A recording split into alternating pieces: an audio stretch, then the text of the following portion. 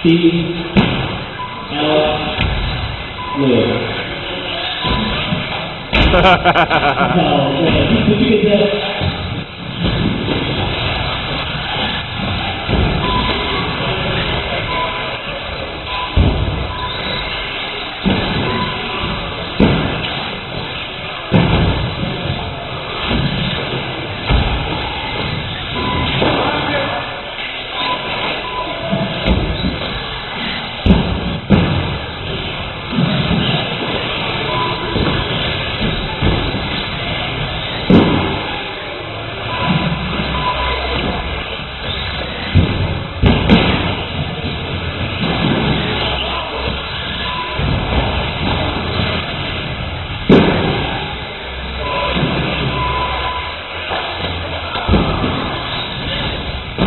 Steve White, that's your top three. A little bit of 23 5 10.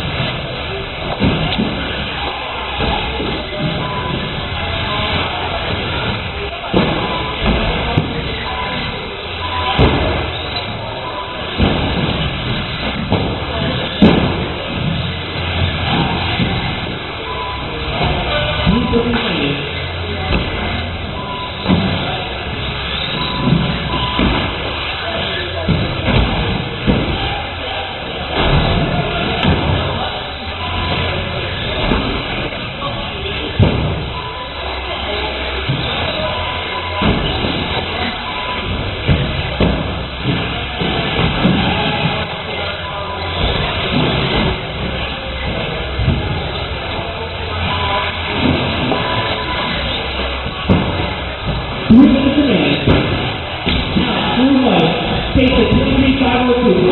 502. Up next, Team Uncle Bob. Jason Jack, bring your hands on up next.